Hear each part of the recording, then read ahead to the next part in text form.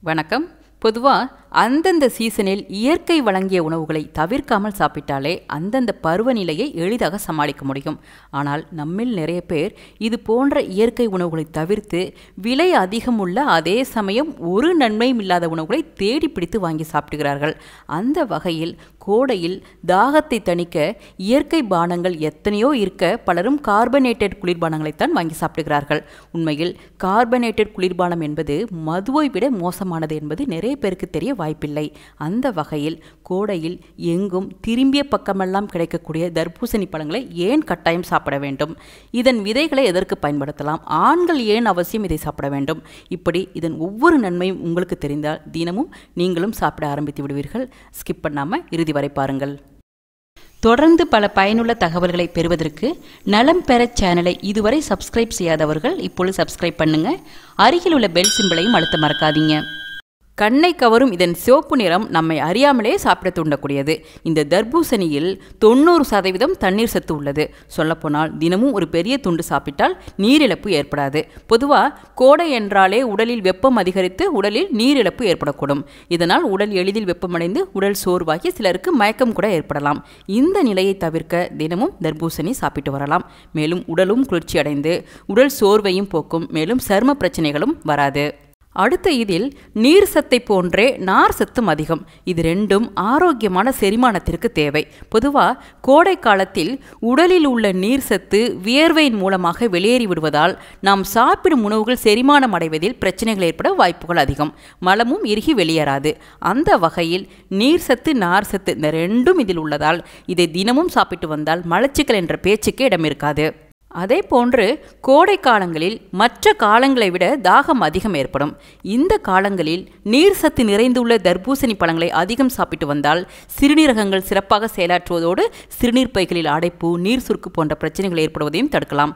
முக்கியமாக சிறுநீரில் உடலின் நச்சுகள் அனைத்தும் வெளியேறிவிடும். அதே போன்று யூரின் போகும்பொழுது ஒரே எரிச்சலாக உள்ளது என்பவர்கள் தர்பூசணி சாற்றுடன் அரை டீஸ்பூன் ஜீரகப்பொடி கலந்து சாப்பிட்டால் நீர்த்தார எரிச்சல் நீங்கும். அதே போன்று ஹீமோக்ளோபின். உண்மையில் இதை தினமும் சாப்பிட்டு வந்தால் இரத்தத்தில் ஹீமோக்ளோபின் எண்ணிக்கை அதிகரிக்கும். காரணம் இதில் உள்ள அதிக இரும்பு சத்து தான். எனவே இரத்த சோகை உள்ளவர்கள் இந்த தர்பூசணியை சாப்பிட்டு வரலாம். முக்கியமாக மற்ற பழங்களில் இல்லாத பைட்டோ நியூட்ரியன்கள் சத்துகள் இதில் உள்ளதால் உடலின் ஆரோக்கியத்தை அதிகரித்து நம்மை எப்பொழுதும் சுறுசுறுப்பாக வைக்க உதவும். அடுத்து இரத்த ஓட்டம். உடலில் இரத்த ஓட்டம் சீராக இருக்க வேண்டியது அவசியம். அதே சமயம் கோடையில் உடலில் உள்ள நீர் வியர்வையாக வெளியேறி விடுவதால் இரத்தத்தில் நீர் சத்து குறைந்து இரத்த ஓட்டம் வேகமும் குறைய வாய்ப்புள்ளது. எனவே தினமும் தர்பூசணி பழங்களை சாப்பிட்டு வந்தால் இரத்தத்தில் நீர் சத்து சேர்ந்து இரத்த ஓட்டமும் சீராகி உடலுக்கு புத்துணர்ச்சியை தரும். அதே போன்று நமது உடலின் முக்கிய உறுப்பான இதயம் ஆரோக்கியமாக இருக்க நமது உணவில் கொழுப்பு சத்துள்ள உணவுகளை குறைத்து அதே சமயம் நார் சத்து அதிகம் கொண்ட உணவுகளை எடுத்துக்கொள்வது அவசியம். அந்த வகையில் இதில் உள்ள அதிக நார் சத்து இரத்த அழுத்தத்தை குறைத்து இதயம் சம்பந்தமான பாதிப்புகள் ஏற்படாமல் தடுக்கிறது. மேலும் இந்த தர்பூசணியில் பொட்டாசியம் சத்தும் அதிகம் உள்ளதால் இதய துடிப்பை சீராக்கும். முக்கியமாக அதிக உடல் எடை மற்றும் கொலஸ்ட்ரால் உள்ளவர்கள் தங்களுடைய டயட்டில் இந்த தர்பூசணியை சேர்த்து வந்தால் உடலில் உள்ள கெட்ட கொழுப்புகளை கரைத்து வெளியேற்றுகிறது. இதனால் இதயம் ஆரோக்கியமாக இருக்கும். அதே போன்று இதில் உள்ள லைகோபின் மார்பு நுரையீரல் கருப்பை பெருங்குடல் போன்ற இடங்களில் ஏற்படும் புற்றுநோயை தடுக்கும் தன்மை கொண்டது. மேலும் இந்த லைகோபின் எலும்பை பாதுகாக்கும். இதனால் எலும்பு நோயான ஆஸ்டியோபோரோசிஸை தடுக்கக்கூடியது. இன்னும் சொல்லப்போனால் இந்த லைகோபின் ஃப்ரீ ராடிக்கல்ஸால் உண்டாகும் தீமைகளை குறைத்து இதயத்தை ஆரோக்கியமாக வைக்க உதவும்.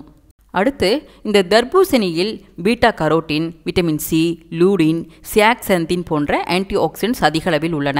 இவை மாலைக்கண் நோய் குளுக்கோமா போன்றவற்றிலிருந்து கண்களை பாதுகாக்கும். எனவே தொடர்ந்து கம்ப்யூட்டர் முன்னே அமர்ந்து வேலை பார்ப்பவர்கள் இந்த கோடையில் தர்பூசணியை சாப்பிட்டு கண்ணை காத்துக்கொள்ளலாம் பொதுவாக நாம் எல்லோருமே இதில் உள்ள சிவப்பு பகுதியை சாப்பிட்டு விட்டு வெள்ளை பகுதியை எரிந்து விடுவோம். ஆனால் இந்த வெள்ளை பகுதியில்தான் சிற்றுலின் என்ற சத்து உள்ளது.